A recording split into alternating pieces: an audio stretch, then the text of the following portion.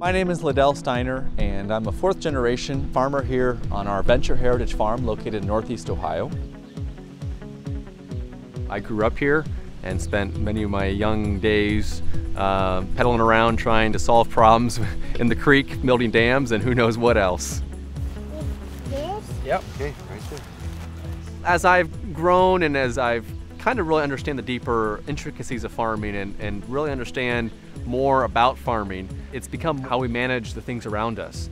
Uh, the soil, the water, the pollinators, the food that we grow. Is it healthy and, and nutritious? As farms have gotten bigger, they have left the small farmer lacking in equipment. So we started asking questions. We visited other farmers and realized that they were also having the same challenge.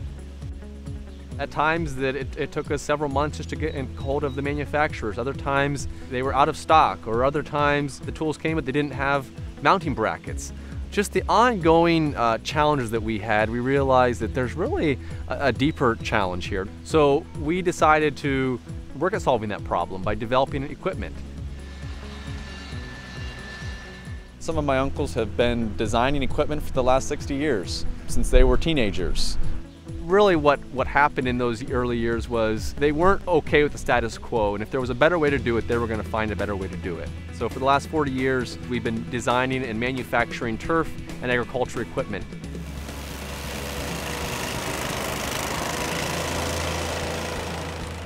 On our farm here, we, we've began designing equipment specifically for the, the small farmer on how to help solve those challenges. So it's been great uh, to uh, combining the manufacturing process with the, the farming because every day we get to use the equipment that we are developing on our farm. And I'll be honest, there's days that things don't go very well, but we learn from those things. And we make adjustments, we make changes so that the end product that gets to you as an end user is the right product. We're also designing equipment that can fit on, on a variety of, of tractors, the Farmall Cub, the Allis G, but we also recognize that these older tractors are not going to be around forever. And so we're developing a new tractor that's specifically designed for that smaller farmer.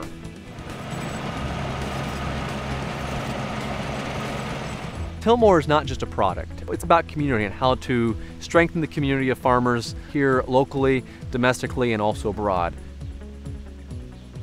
Every farmer has unique challenges. Some farms need tools, while other farms need resources and education.